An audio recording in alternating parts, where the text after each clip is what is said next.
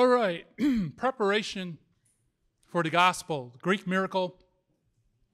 Um, I love this subject. Like I said, I'm animated about it. But, you know, God works about this miraculous transformation, like I mentioned in my uh, little pitch for the talk, because the Jews are supposed to be a separate and distinct people from the nations that was grown into their worldview, that's part of their identity, have nothing to do with the unclean Gentiles. Then, when you get to the time of Christ, the gospel spreads throughout the Gentile world. Why? How, how did we get from there to here, right? And what happens is the Greek miracle. I call it the Greek miracle.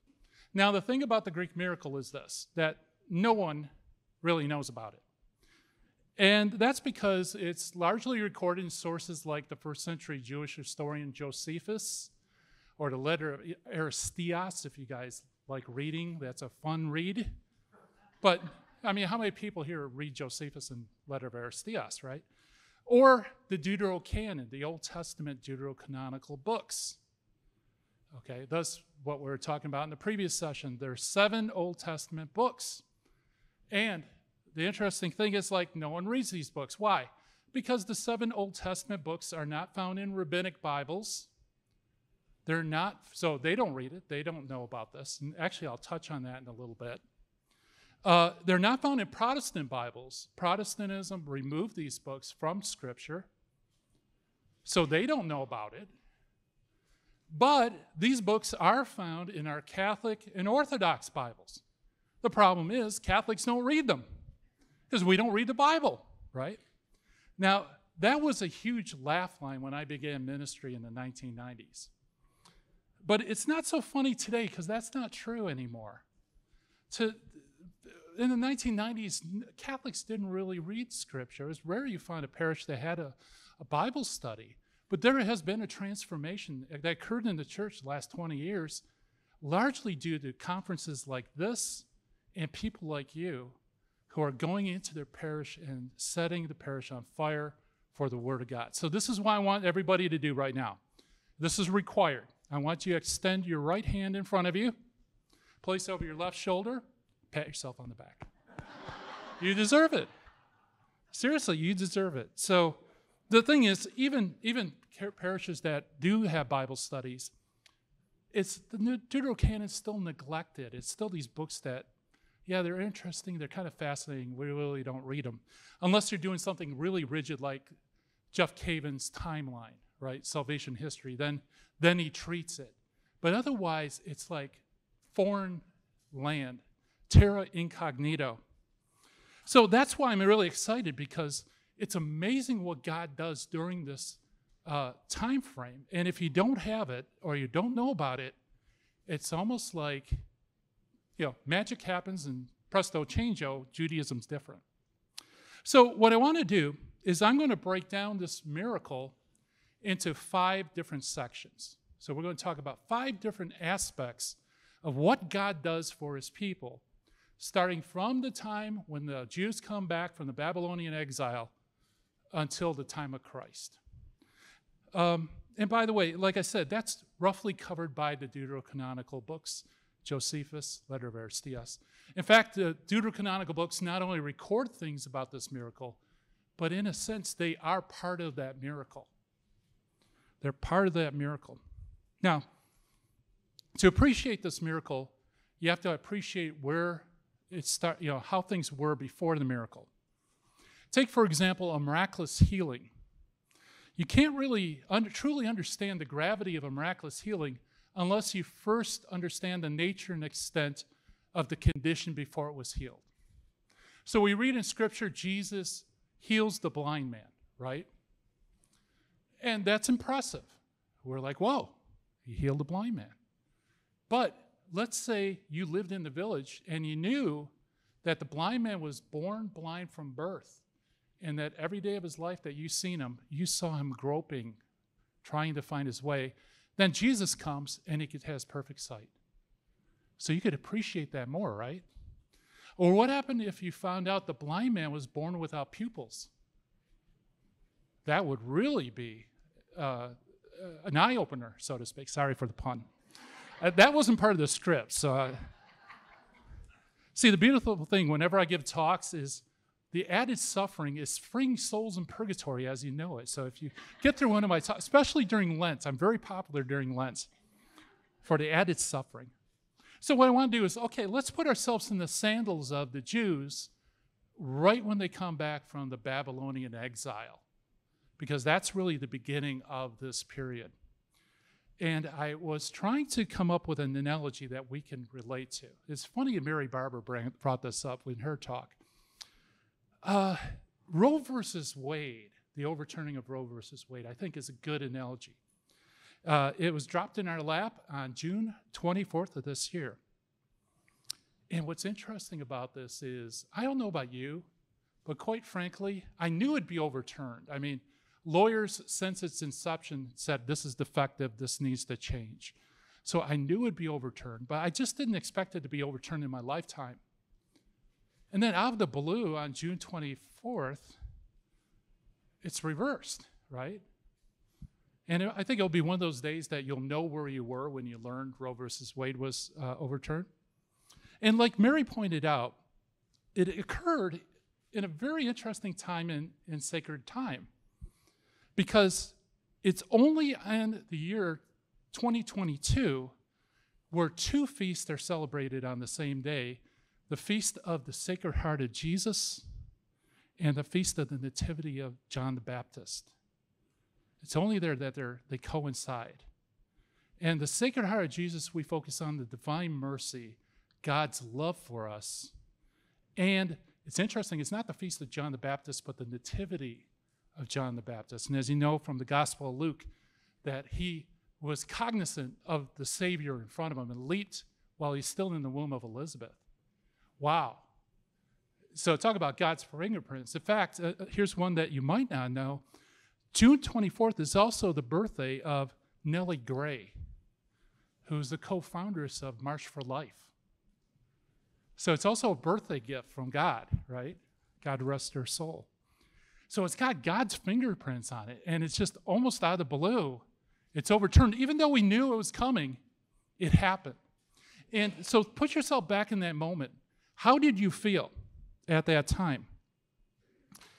Uh, I think that kind of corresponds to uh, how the Jews felt because there's extreme exhilaration. Yes, this finally has happened. Thank God. But there's also uneasiness and worry as well because it's not like we're ahead of the game. We're only set back some 39 years or 49 years back in the past. Right? Before we knew where the boundary lines were set, now we don't. Right? So there's a worry and uneasiness, but also joy as well. I don't know, did you feel the same way? At least that's how I felt. And people I spoke to all also felt that joy and uneasiness at the same time. And uh, that I think corresponds roughly to uh, how the Jews felt coming back from exile. Because they were in captivity in, in, Babylon for 70 years, as we heard from uh, both Mary uh, Healy and uh, Dr. Bergsma. Sorry about that. Apparently, my battery's not plugged in. Um, so we heard that about that. Let's see if I can figure out why it's not working. But uh, Jeremiah prophesied. Uh, uh, camera lady, I'm not sure, but I'm not getting power to my computer. So maybe you could check if it's plugged in or. Sorry about that. So we heard Jeremiah prophesy that God will bring his people back in 70 years. So we anticipated. It but, you know, when it occurred, it was amazing because here you have the Persian nation come and basically take over Babylon, who was holding you in captivity, and then the Persians put you back in Jerusalem. And they not only do that, but they restored the, um, the implements of the temple that were taken by Nebuchadnezzar. So you're, you're returned enriched. So they're exhilarated. God has been faithful to his promise. At the same time, you're worried because you're not any further than you were. You're just reset back to when Babylon came and, and uh, took you. Not only that, but you're also worried because now you got to rebuild everything. You return to basically this to rocks and weeds. You got to rebuild the temple. You got to build walls. We're surrounded by enemies with no fortification, no protection from them. So, how in the world is God going to take us from this point to the point in which the prophets prophesied? How is that going to happen? How is he going to fulfill that? Because the prophets say that the second temple that we're building right now is going to be more glorious than Solomon's temple. How's that going to happen? It's not going to be as glorious as Solomon's. The kingdom of David consisted of 12 tribes. And if you know your Bible or done the Jeff Cavins timeline, you know the northern 10 tribes were taken by Assyria and they're scattered throughout the nations. They're gone. But God says that there would be a, a Messiah of the dynasty of David who will reconstitute the kingdom. How is he going to reconstitute the kingdom? And when the kingdom is spread throughout the, the known world. And then you have another problem. Uh, probably a little head here. Um,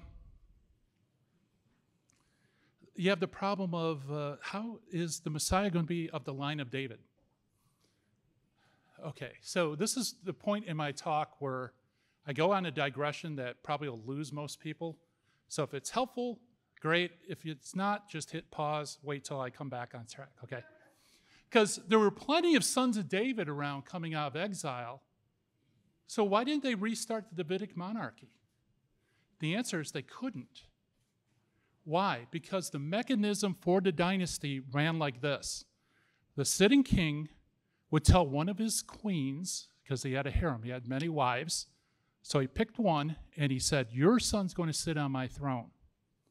So when the son is old enough, he becomes king and the queen becomes the queen mother, the mother of the, the king, okay? That's how dynastic succession worked. The king and the queen, the queens went into exile and the queen mother, they never come back. So there are plenty of people with the lineage of David, but how does the Messiah come and still be in the line of David? So here is you know, a little hack for you. This is why the Annunciation is so important. Because who is the tr- true king of Israel? God, right? God is the true king of Israel.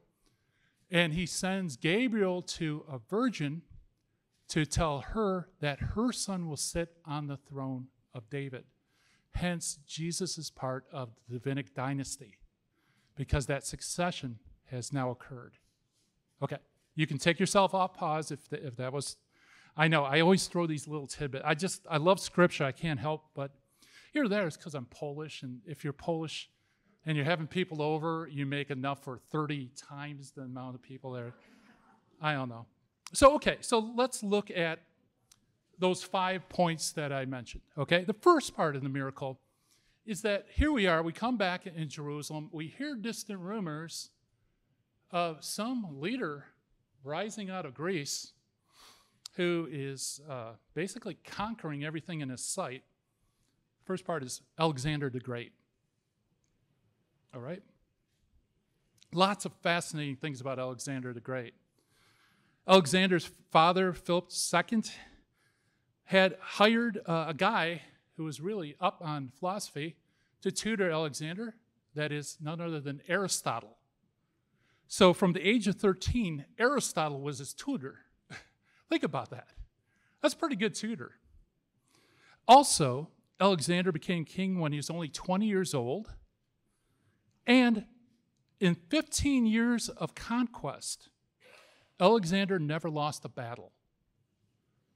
15 years of warfare, he never loses a battle. He goes from place to place, either they capitulate, they give in, or he conquers them. Never loses. And uh, so by the time of his death, in, when he was only 33 years old, he conquered 2 million square miles. Think about that. That is amazing. Now, what about the Jews? Were the, was Jerusalem part of the, uh, you know, the uh, things that were squashed by Alexander? Miraculously, no. We learned this through the letter of Aristeas. According to this letter, uh, they were actually, now, this is one of those facts about history, uh, assuming that this is historically true. Uh, no, actually, I'm sorry, this comes from Josephus' Antiquities. Um, yeah, um, oh boy. Okay, I'm out of power. Well, it's okay. Um, this is one of those interesting things because Alexander is in Damascus and he's sending a letter to the high priest in Jerusalem. And he says, I need provisions, I need troops. Send them to help me. The high priest responds and says, Alexander, I, I would like to help you, but I swore an oath to your enemy, Darius, that I would never wage arms against him. So I can't help you. Sorry. Now, needless to say, Alexander was not happy, right? So he sends a letter back and he says, I'm coming for you, high priest. I'm coming for you, and I'm going to show people to whom they ought to keep their oaths, right? Pretty scary stuff if you're the high priest. So when Alexander takes Gaza, guess what he does? He turns his troops and he heads for Jerusalem to get who? The high priest. So, what do you do if you're high priest? You call on God, right? I mean, who else is going to stop Alexander? So, while he's offering sacrifices, he gets a vision. And God tells him in this vision, He tells the high priest, This is what I want you to do. First, stop groveling, stop crying. Everything's going to be okay. Take courage. He's not going to harm you. You need to do this. You need to open the gates of Jerusalem to him. You need to have uh, decorate the city. Everybody dresses in white, and I want you to process out to him with your priest and greet him. Now, this is the guy that's coming after you after conquering, you know, every every city from, you know, Greece to Jerusalem, right? So the high priest does it, and what happens is, the high priest does it, and Alexander falls down at his feet and adores him. Yeah, not exactly what you expected, right? I thought maybe he'd take a sword and cut his head off or something like that. And one of uh, his soldiers asked him, Why are you adoring the high priest? And his response is, I did not adore him, but that God who hath honored him with the high priesthood, for I saw this very person in a dream while in Macedonia. Alexander had a dream where he saw the high priest and the procession of people dressed in white coming to welcome him. And he knew that God told him he's going to conquer. So he honors the high priest. In fact, he gives them all sorts of things they don't have to pay tribute for a while. Lots of, uh, he just passes them by. So it's at this time that the Jews uh, bring out the book of Daniel. I mean, what else would you do, right? Uh, book of Daniel is interesting, has lots of prophecies.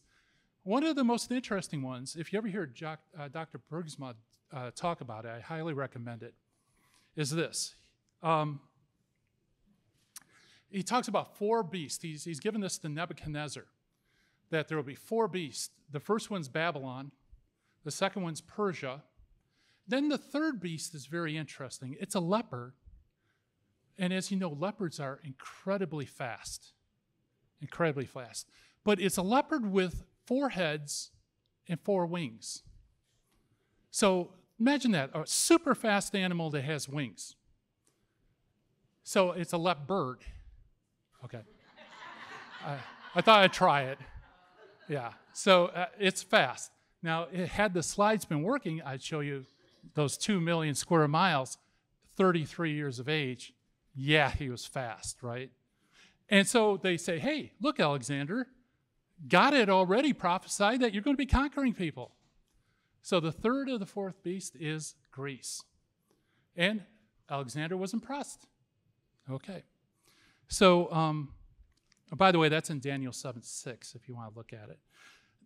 So what about the four heads and the four wings?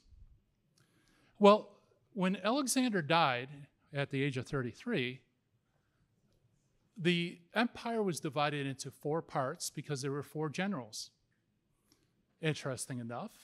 And so the, the empire is divided into uh, the Macedonians, the Ptolemaic in Egypt, the Seleucids in Judea, and Pergamum in modern day Turkey.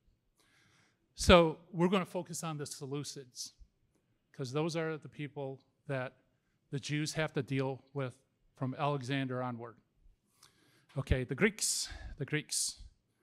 All right, so that's the first miracle Alexander the Great, or first aspect the miracle.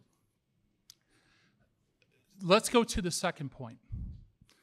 The international language of Greek is now the lingua franca of Alexander's empire. Now, this might seem like, yeah, that's not really, you know, an eye opener, uh, I don't know, uh, eyebrow raiser. You know, so what? So he spread Greek around the ancient world. Well, what really happens is, since now everybody is speaking the same language, or at least has access to the same language, Alexander the Great ushers in the super information highway, the, the highway of super information, the internet in antiquity, but in antiquity's terms, right? Now, like the internet, when you're on the internet, you can access all sorts of information very quickly. Now, before Alexander, if you wanted to learn things about other cultures, you had to learn their language and their culture, have somebody translate it. It was very difficult, right? But now that everybody knows Greek, information can flow from territory to territory. Geographic location doesn't mean too much as long as everybody speaks Greek. Everybody follow? Amen? All right, I'll do the amens. Uh, yeah, amen, common language. That's awesome. Praise the Lord. You know, the other thing too is the internet is also good for storing information as well, retrieving stored information. Uh, when I first started in apologetics, if I wanted to research a topic, I'd have to get in my car, drive down to Sacred Heart Major Seminary in Detroit, go to the library, spend several hours going through the stacks, spend a couple hours at the photocopier copying things, bringing it back home. It was a day affair just to, to do research. Today, with the internet, I could do the, all of that and more in five minutes. Right? I can access all this information very quickly. And so along, since he makes the information superhighway possible, guess what? Now you can store information as well. You ever hear of the Library of Alexandria? There you go. That's the primitive ancient internet. Now, of course, it's not as fast as ours, but nevertheless, that's a very important development. Keep that in your back pockets. Okay, let's move on to um, point number three. So we have the first point, Alexander the Great. Second point, the international language, the, the ancient version of the internet. Third aspect, the Greek Septuagint. Um, now, here's where the letter of Aristeas comes in. Um, a funny thing happens. After the library is established, uh, Ptolemy writes a letter to the high priest. Now, this is from Egypt, right? And he, of course, if you have a library, what do you need to do? You need to acquire books. Otherwise, you have empty shelves, and that's not really a good library. So we want to fill it with wisdom from all over the place.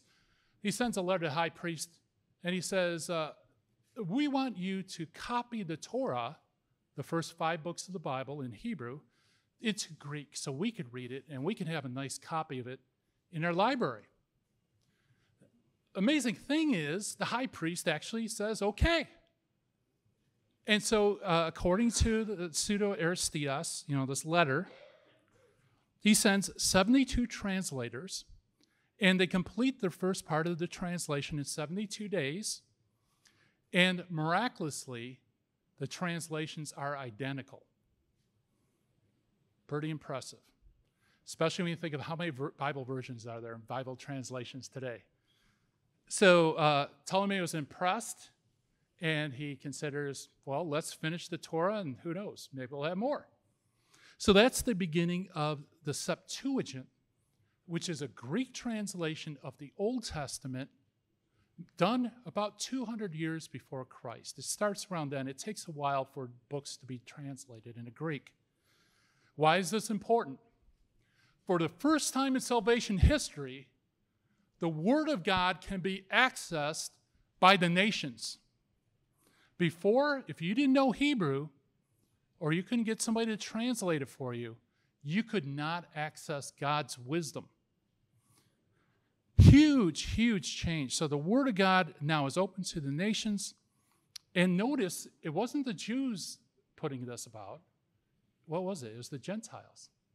They were asking, hey, can you do this for us? We want this wisdom of God that you have. Now, everything wasn't all Pop Tarts and Coca Cola, because uh, I know those are the two things I like the most. So you can put whatever you roses and you know um, there was some bad things as well. And this brings about our fourth point. So we have uh, Alexander the Great, we have the common language of Greek, you have the Septuagint, where the Word of God is now accessible in Greek, so everybody can access it. And it's funny, I mean, it circulates very well. In fact, there comes a time where both Jews and Christians accuse the Gentiles of plagiarizing off Moses it's very interesting that you get these charges that these, these Greeks are now uh, ripping off Moses. The fourth of the five points is the Jews meet Greek philosophy. The Jews meet Greek philosophy. So Alexander not only spread the Greek language, he also spread Greek thought, Greek philosophy. And unfortunately, you know, Greek philosophy was very good. It, it represents possibly the highest development of uh, human reason. I mean, they actually get some very important points about God correct, but it also is filled with error. Okay, so it's not perfect. And not only that, but you also get Greek culture, which is pagan, right? So you have Greek culture you have this Greek philosophy. All of this is being fed to us as Jews. It's kind of being rammed down our throat because the Seleucids are like, be Greek, join the Greek bandwagon, or get run over by it. Okay? And a lot of Jews, including high priests, jump on the bandwagon. They go Greek, right? Even though Greek culture is antithetical to God's, God's word God's prescription in the Torah. So Judaism is confronted by this paganism, okay? And thank God we don't live in a culture like that, right? Yeah, we don't live in a culture that, you know, things are being rammed down our throats that's antithetical to God's word. Okay. Uh, yeah, okay. Do you have the slide or not? I don't. Okay. Um, yeah, I sent it to hospitality at Steubenville. Okay. Yeah, sorry about that. We'll get it. We'll get it.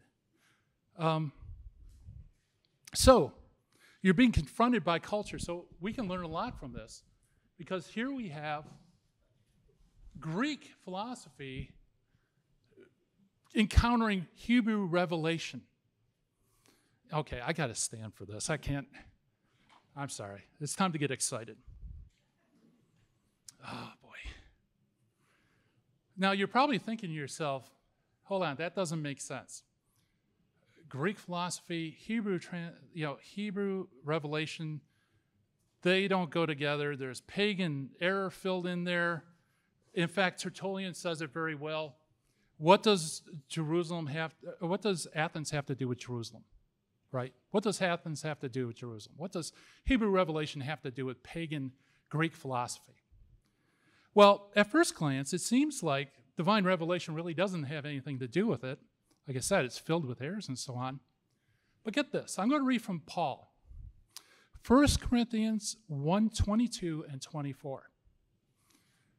Paul says, For Jews demand signs and Greeks look for wisdom.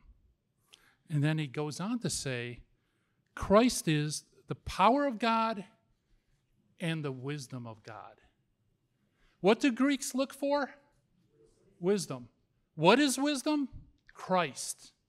Christ is the wisdom of God. So, what the Greeks are looking for, in fact, not only are they looking for wisdom, but they love wisdom. By the way, the fancy Greek word for love of wisdom is philosophy. Okay? So they love philosophy. So what does philosophy have to do with Christianity? What does philosophy have? Well, actually, it's earlier. What does philosophy have to do with Hebrew revelation? Peanut butter, meat jelly. What you have is reason and revelation, fides et ratio, right? Faith and reason go together. And in a very interesting way, because Hebrew revelation is able, able to purify the errors of pagan philosophy, and pagan philosophy is able to give us the precision to explain and expound revelation. Okay, so, all right. So, in the midst of this coercive Hellenization going on, the Jews react. So, I think this is a good example for us. Uh, in this part because uh, we're kind of in the same boat. And it's exemplified by two deuterocanonical books the Book of Sirach and the Book of Wisdom. I love Father John Lau's analogy.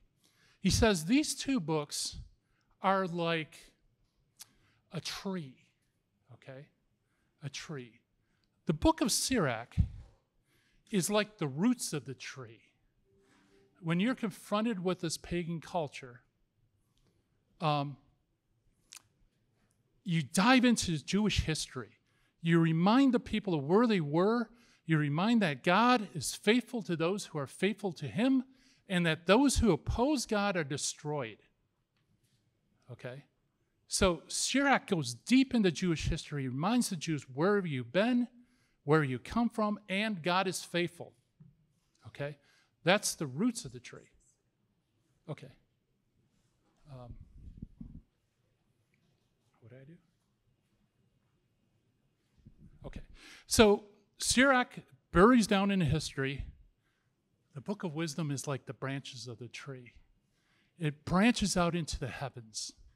And it takes the Greek language, it takes Greek philosophical terms and ideas, and it takes Hebrew revelation and it raises it up in a beautiful manifestation of wisdom that wouldn't be possible in Hebrew. So you, you have this tree, and those two things work together to combat this horrible Hellenization, Greekification, if you will, of the Jewish people. And like I said, since philosophy means love of wisdom, it's interesting that both Sirach and wisdom do something very interesting. They explore, get this, the relationship of God's wisdom to himself and the relationship of God's wisdom to creation. Very interesting. So the Jews now, for the first time in salvation history, is really looking at what is the relationship of God's wisdom to himself and to his creation. Now, this might seem all academic and uh, maybe it is, but it has practical uses. For example, not long ago, I received an email from a Jewish person in England. And I do apologetics, I defend the faith.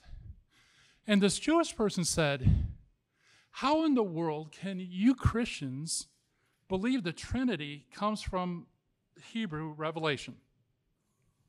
It's pagan, it's pure paganism, right?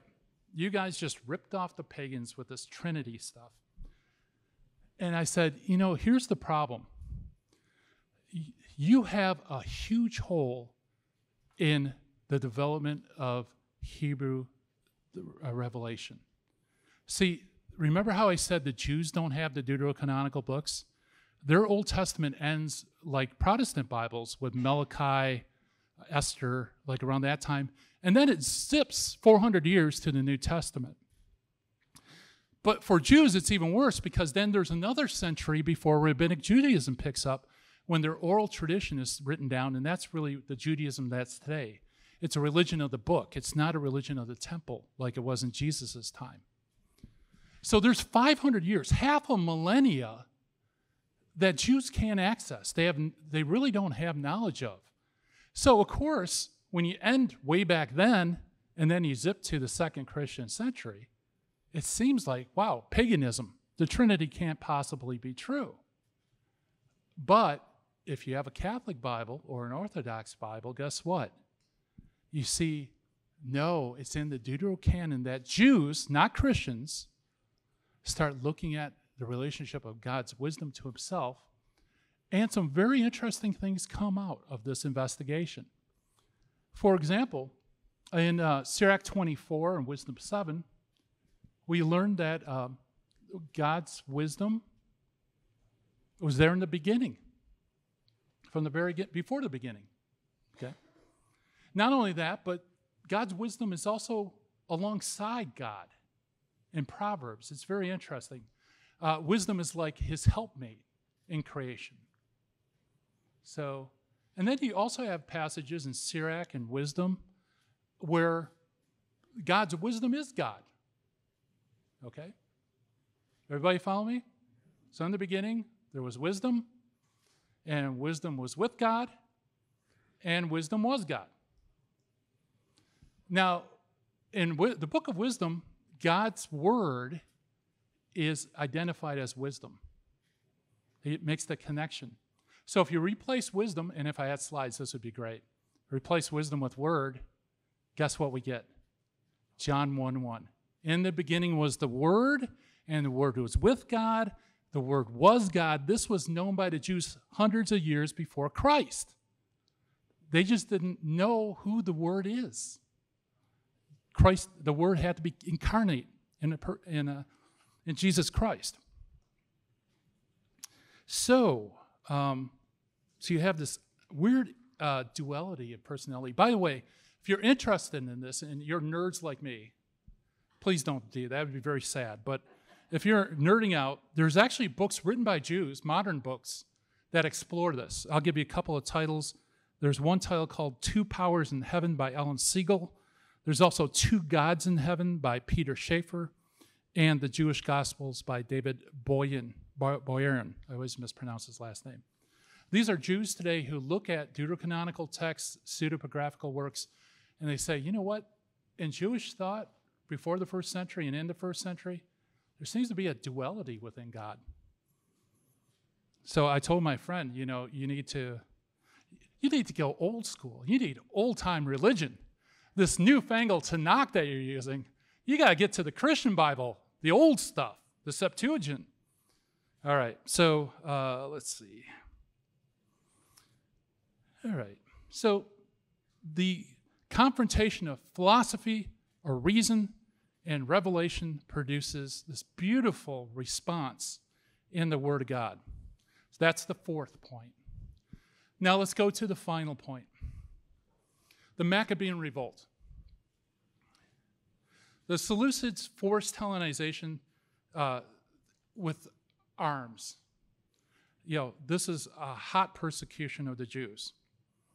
And so um, they're trying to force pagan idolatry, sexual license, and the worst of all, they build a gymnasium, inflicting horror on millions of teenagers they have to go to high school gym class. No, I'm just joking. But yeah, they, they bring Greek culture, which involves, uh, involves the gymnasium, which, by the way, involved pagan practices. It wasn't just exercise. I mean, kind of like today, you know, sports is now becoming kind of politicized, it's becoming politically correct. That's kind of how it was. So, not everybody jumps on the let's go Greek bandwagon. There was a group of Jews who said, Oi, we're not going to take this. And that is the Maccabees the Maccabees to have this armed revolt against this group that's so much more powerful than them, there's really no way they could succeed outside of God's help. Um, it's during this that this confrontation produces some very interesting fruit. And by the way, you could read about the Maccabean revolt in 1st and 2nd Maccabees, aptly titled. Uh, for example, In 2nd Maccabees 6 and 7, now if you, uh, we find Jews who were willing to be tortured, refused release in order for the better resurrection. In other words, it's better to be faithful to God and be raised again and live forever with God than to eat pork, violate the law, and be condemned forever. For the first time in Jewish history, you have Jews who are willing to lay down their lives, that their faithfulness to God would lead to the resurrection, and although their bodies die, they will live on earth again. You find that in, sec, uh, in 2 Maccabees 6 and 7 with the Maccabean martyrs. By the way, I mean that was I was basically quoting Hebrews 11:35 about the torture, refusing release for the sake of better resurrection. So God's people has reached a point in development where they're willing to die rather than eat pork. Now, there are plenty of people who are willing to die, but not to that extent of fidelity to God. You also have another interesting development because the book of Maccabees especially second Maccabees, focuses in on the afterlife. And it's in second Maccabees we find all sorts of interesting things about those who die. Where before death was in Sheol, it was a kind of shadowy place that we didn't really know much about. There's comfort for the righteous, there's you know, suffering for the wicked. That's about it. In Second Maccabees, we find out that they're part of our community still, even though they died.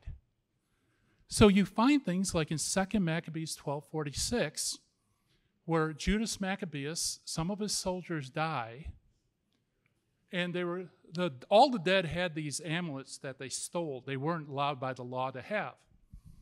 So Judas takes up a collection and sends it to Jerusalem for expiatory sacrifice to be made for the dead soldiers and he offers prayers.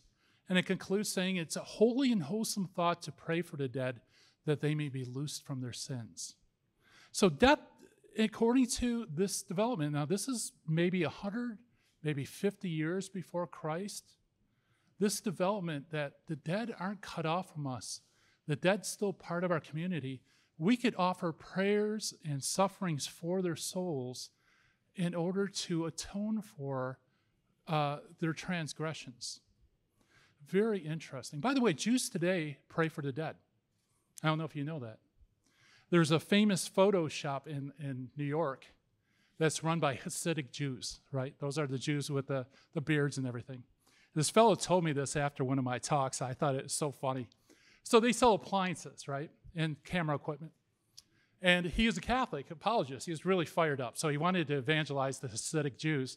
He called them up and he's talking to him about things, and he's talking about purgatory. He didn't know that they don't believe in purgatory, or they believe in purgatory, excuse me. They have a, a, rough approximation of what we understand as purgatory. So he says, you know, but you guys don't have purgatory. He says, yeah, we do.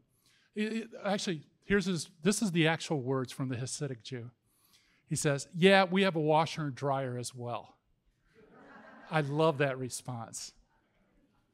So, the time of Christ, they were praying for the dead, they were offering suffrages for the dead. The afterlife now is visible. In fact, in 2 Maccabees 15, you learn that the high priest Onias and the prophet Jeremiah, even though they died, they appeared to Judas in a vision where it says that Jeremiah is continually praying for the people of God. So we even see in the Old Testament the prayers of the saints, right? Except this is the Old Testament righteous. So the afterlife now is like, it becomes more and more clear. And you can see how that clarity gives the Jews the confidence to be faithful and actually suffer and die rather than disobey the law.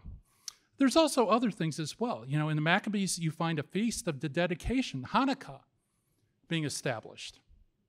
The Festival of Lights. You find this in 1 Maccabees 5 56 through 59. Hanukkah celebrates the rededication of the temple that was defiled by the Greeks. It's an eight day celebration, and it's known as the Festival of Lights. You guys have seen menorahs, right? Are you familiar with Hanukkah? Yeah, Festival of Lights. It's, that's a fascinating feast, isn't it? Because Christ, what's his body likened to? A temple.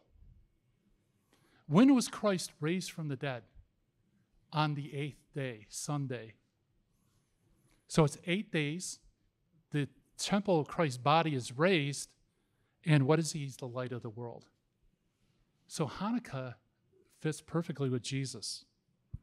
By the way, it's also one of those Jewish feasts that the Jewish Bible doesn't have any recollection of. Um, it, it, since it doesn't have Maccabees, Jews celebrate Hanukkah, but there's nothing in their Bible to establish it. Okay. Also, you find in Maccabees, enter the theme of Jaws. Bum, bum, bum, bum. The Romans. The Romans begin to appear. The Romans are the fourth beast in Daniel, the ones who overtake the Seleucids, the ones who uh, are the last and the most terrible of the fourth beast, or the four beast. Um, so uh, you see the Romans, and actually, if you read Maccabees, it's kind of scary because uh, the Maccabees are like, hey, these are nice chaps. They enter into alliances and so on. Uh, we should ally with them. Yeah, that's going to work out really well, right? And it ultimately ends up with King Herod. Okay? So you have this interesting phenomenon of all these trials during this period bearing fruit and preparing the way for Jesus.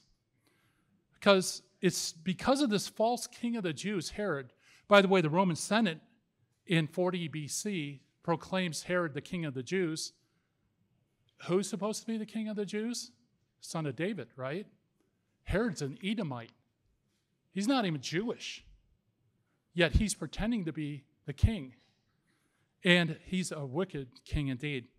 So Herod sets the, the stage for the true son of David, the true Messiah, Jesus, right? And if you think about it, you look around, it seems like well, something else amazing happens. I had slides, I'm sorry, but I would have shown you this. It's amazing. On the map, as you go through, starting with the first uh, Judas Maccabeus and going through the successors of the Maccabees, what happens is it starts off with a little patch of land and it begins to grow and it begins to grow and it grows more until finally you get to almost the time of Christ. And amazingly, the land that's under Jewish control is almost identical to the kingdom of David. It's truly amazing. So, out of nowhere, we're in the land where David was ruling, but we have this false king. Things aren't kosher, it's not good. So, you can see where the Greek miracle is, starts paying dividends because uh, it's not by accident that the earliest copies of the Gospels are written in Greek right? Did you know that? Why? Because that plugs into the information superhighway of antiquity. Now everybody can read about the words and deeds of Jesus no matter where you are because of the Greek miracle. It's not by accident that the New Testament quotes the Septuagint, that Greek translation of the Old Testament, as its preferred text. Why? Because now, since God's word has gone out to the Greek speaking people. Guess what? The apostles and those who follow the apostles now have a text that they can show the Old Testament prophecies that the Gentiles have access to. That would not be possible if it wasn't for the Septuagint. It would not be possible if Alexander did not spread the Greek language. It would not be possible without Alexander. It's not by accident that when the early church fathers are approaching the Gentiles with the gospel, that they proclaim Christ to the, to the Gentiles by introducing them to wisdom. Right? Because the Greeks love wisdom, they're philosophers. All they have to say is, You know that thing that you love? You love this wisdom? Let me tell you his name. Because his name, it's not an it, it's a him, it's a person. And this person came to us. He conversed with us. He lived with us. He worked miracles. And He wants you to be part of His covenant family. It's not by accident that the people of God reached the point where their faithfulness, uh, that they're willing to endure suffering, torture, and death in hopes of the resurrection. Why? Because wisdom incarnate demonstrates his faithfulness by suffering and dying and being raised from the dead. So, in a way, the Maccabees foreshadow the Christ, that they're being faithful to God and ultimately await the resurrection. What Christ's resurrection proves, it's already here. What you hope for will happen. Why? Because I have raised, I've been raised from the dead. So that's the Greek miracle, folks. Um, took centuries, and like I said, nobody knows about it. I shouldn't say nobody. Now you guys know about it, and a few other people outside of this group. So let's change that, right? We've changed the way parishes have Bible studies. We changed how Catholics now love the Word of God. Let's fill them in on this Greek miracle, right? Let's take the stuff that we learned and apply it to this culture that in many different ways, I mean, in many ways, it really does mirror what we're going on today. People need to hear about the faithfulness of God in the midst of trials and how those trials produce the fruit by which the gospel spreads throughout the entire world. So, why don't we close with a Hail Mary? name of the Father, Son, Holy Spirit. Amen. Hail Mary, full of grace, the Lord is with thee. Blessed art thou among women the fruit of thy womb, Jesus. Holy Mary, Mother of God, pray for us sinners, now and at the hour of our death.